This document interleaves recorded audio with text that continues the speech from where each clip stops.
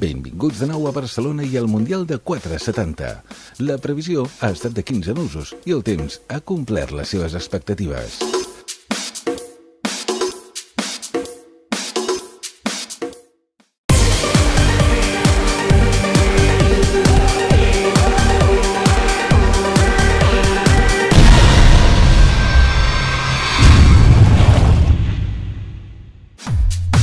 La brisa ha anat augmentant durant tot el matí i aquest segon dia de regates del Mundial ha ofert perfectes condicions per a navegar. Totes les flotes han salpat al voltant de les 11 del matí. La brisa que anava en augment i les onades convertia el camp de regates en tot un desafiament. Les condicions han estat completament diferents a les d'ahir. Vents lleugers i els atletes han hagut d'afinar el seu estil de navegació i també el dels seus vaixells. En la primera regata del dia, en la primera sortida per la flota blava de 470 masculina, la tripulació de Obronnik i Chorova de Polònia i Turi Gallar d'Espanya han triat el costat dret de la línia de sortida, però a causa de que molts vaixells estaven fora de línia, hi ha hagut una crida general. A la segona sortida, en Gert i Folman d'Alemanya i Fantela i Marenik de Croàcia han estat a l'extrem de la línia, però ni un ni l'altre han tingut una bona sortida. En l'altre extrem, els australians han tingut que virar res més sortir i han posat rumb a la dreta del recorregut, però valdria la pena?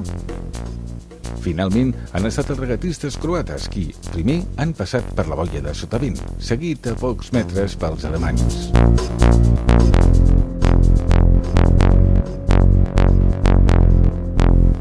La flota vermella de 470 masculina ha estat l'última en prendre la sortida.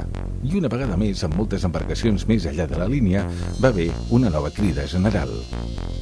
Quan finalment la regata va començar, els francesos Charbonnier i Mion han tingut la millor sortida per a l'extrem amb els seus companys d'equip Choquet i Nebaut navegant al costat d'ells.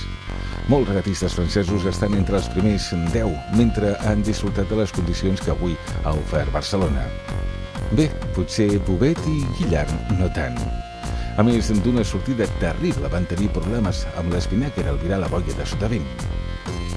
Mentrestant, la flota groga del dia pertanyia a Matt Belcher i Malcolm Page d'Austràlia, que han guanyat cada una de les tres regates. Els australians, en primer lloc, mantenint una còmoda distància dels grecs, però amb dos equips segueixen en òptima forma i molt probablement podran conquerir una medalla d'or. Els segueixen Snow i Sanders de Nova Zelanda i Lefebvre i Kroll d'Holanda.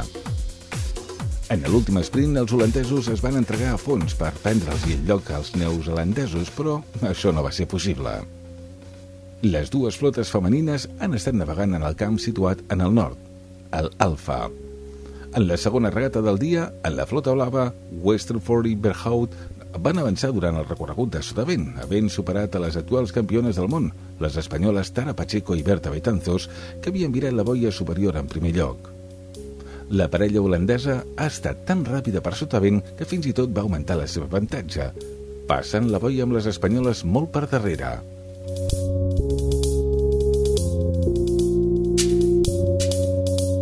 L'equip francès, Le Cointre i Guéron, que recentment van confirmar la seva participació en els Jocs Olímpics, van arribar en tercer lloc amb les angleses Mills i Clare en quarta posició.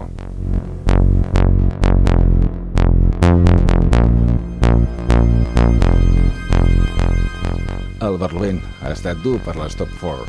Les holandeses, que seguien controlant la regata, han passat la boia de sotavent en primer lloc i van mantenir una velocitat extrema. Les espanyoles han tingut que conformar-se amb el segon lloc, mentre les franceses i les neozelandeses han quedat terceres i quartes, respectivament. Ha estat un dia complet, ple de desafiaments, amb tres regates per cada una de les flotes i en condicions complicades. Després de quatre regates per a totes les flotes, les classificacions es perfilen molt interessants amb nou països diferents, tant en el top 10 masculí com en el femení.